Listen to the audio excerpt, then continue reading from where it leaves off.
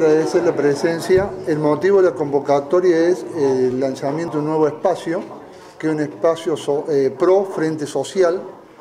Es muy importante porque nosotros en este espacio que ya estaba conformado, estamos eh, incorporando al peronismo republicano. Es muy importante lo que la gente ¿no en la calle nos pide, que es trabajar por el bien común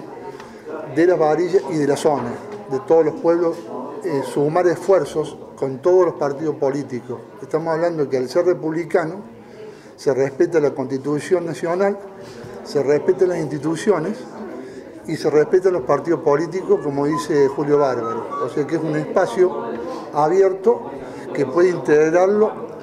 toda la gente que quiera colaborar para mejorar la calidad de vida, de los ciudadanos. Nosotros es un nuevo espacio que después se irá sumando, no hay ningún inconveniente, porque esto es un espacio que es pro, repito, frente social,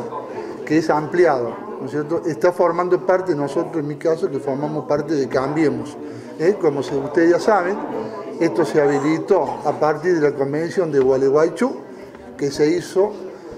eh, tres partidos que se fue a las PASO, y en base a eso se autorizó en esa convención en el interior los gobernadores, como el ejemplo de Gerardo Morales, un espacio totalmente amplio, que forman parte todos los partidos políticos que estén dentro de, este, este espacio, ¿no es cierto? Y justamente yo quería presentarles hoy el presidente del PRO departamental, que es el doctor Gabriel Vicentini, y justamente que él también es eh, delegado del ANSES eh, Regional San Francisco, que es jefe del ANSES Regional San Francisco. En realidad muy feliz porque este, llegando a, la ciudad de Las Varillas, este, invitado por el doctor Canavesio, invitado por el señor Juárez este, y un grupo de dirigentes que quieren sumarse a esto que es el partido del presidente el partido del presidente que este, en donde no estamos haciendo ningún tipo de diferencia de si somos amarillos, rojos o colorados, sino este, estamos atrás de una idea política, de un proyecto político y de un apoyo hacia este, una forma de hacer política diferente. O sea, una, forma este, de manejarnos políticamente en donde no hacemos, no es un espacio exclusivo, sino de inclusión y de este, oídos abiertos hacia todos los sectores políticos y hacia todas las ideas de cada una de las personas que, estamos, este, que podemos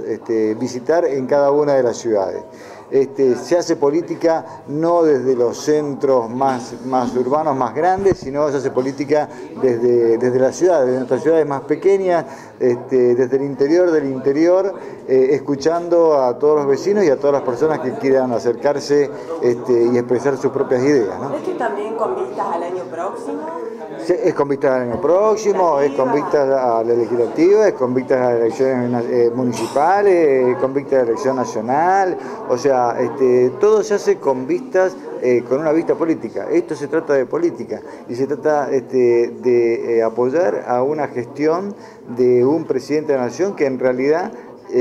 como se ha demostrado en las últimas bueno, en la elección en donde él ha sido electo, este, eh, cuenta con el apoyo, este, con un apoyo muy grande de la, de toda de la población de toda Argentina. Entonces, este, realmente estamos embarcados en este, este, en este proyecto político y lo estamos apoyando. ¿No es demasiado pronto lanzar una línea o una corriente interna ocho meses de la presidencia de Macri? No estamos hablando, yo no estoy, no estamos hablando de ninguna corriente interna, yo de, ninguna, nosotros le estamos, yo lo que le estoy diciendo es que llegamos a las varillas este, invitados por un grupo, este, por, unos referentes y un grupo de gente este, que pertenece a diferentes partidos y que estamos dispuestos a escucharlos y a integrarnos y a escuchar sus ideas y llevarlas para adelante. No, esto no significa armar ningún tipo de línea, ni hay, al contrario, muy por el contrario, estamos eh,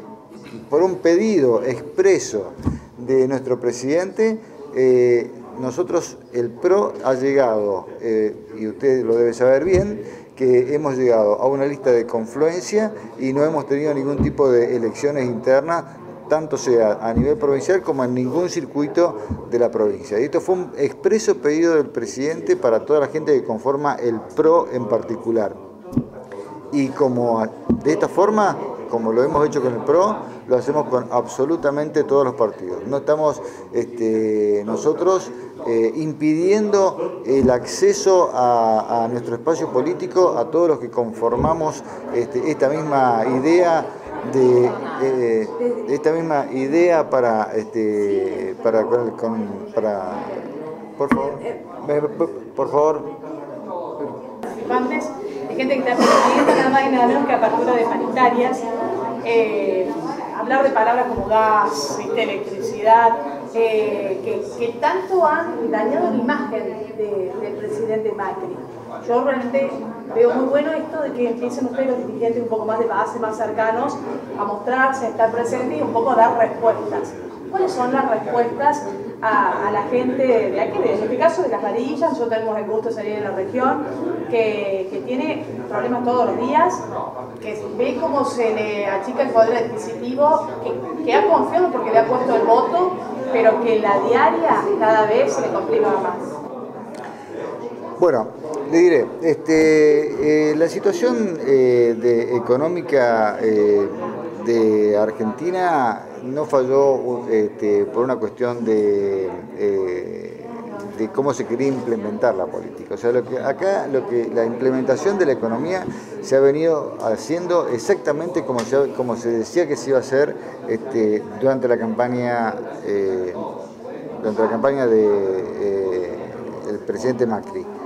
El tema fue que las paritarias no se hicieron en el mes de febrero cuando tenían que haberse hecho. Y este no es un problema que la atañe exclusivamente al gobierno, sino a los sindicatos. O sea, los sindicatos no defendieron sus paritarias en el mes de febrero, razón por la cual los, este, los haberes de los empleados, ya sea del sector público como el sector privado, se han visto retrasados totalmente desde febrero hasta julio. Y obviamente que en este país había que hacer reformas de fondo, ya sea este, en, la tarifa eléctrica como en la tarifa de gas, porque todos sabemos que este subsidio que nosotros estamos pagando, o sea, esta, esta tarifa que nosotros estamos pagando subsidiada, en realidad la estamos pagando entre todos. No es que, este, no es que nos están regalando nada, acá nadie nos está regalando nada, al contrario, por de una forma o por la otra, por los impuestos, por otra forma estamos subsidiando una tarifa de una persona que no tendría que estar, este,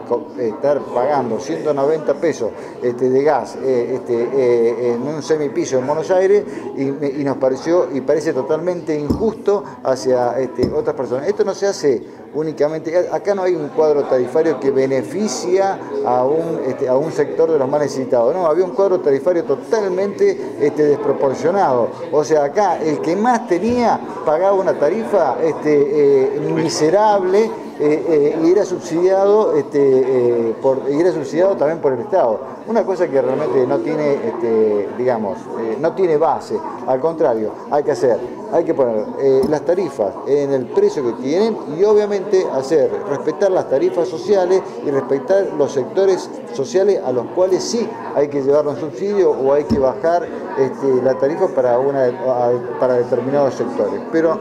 no hay que este, tenerla no hay que, digamos, hay que poner la tarifa en los órdenes que corresponden para poder, este, para que nuestro país no sea un importador, estamos importando gas eh, cuando realmente este, era un país que estábamos exportando. Por eso desde Neuquén hasta Chile hay todo un gasoducto desde este, de la época anterior en donde nosotros exportábamos gas. Hoy tenemos que importarlo de Bolivia a un precio realmente este, muy elevado. Eh, y en cuanto a eh, lo que me decía de, este, eh, con respecto al tema tarifario, también quiero decirle que estamos respetando la decisión de la Corte Suprema de Justicia y, hemos, y, este, la misma Corte, eh, aunque parezca esto una, algo en contra de Macri, la misma Corte le ha, dado, le ha dado la razón, porque le ha dicho al sector de las industrias y de las empresas sí le va el aumento. Al sector domiciliario no le va el aumento. Perfecto, se ha respetado. Pero ¿qué quiere decir esto? Que realmente el aumento tiene que existir. porque este, el aumento, el costo de, la producción, de llevarlo y de, llevar, de llevarle el, gas a los vecinos, este, no es el que está en este momento eh, eh, pagando, o sea, tarifado y pagando a la gente, sino realmente es un costo mucho más elevado. Entonces, de, alguna, de una forma o de la otra, la misma Corte ha aceptado de que este, el precio ni de la luz ni del gas es el que actualmente se paga.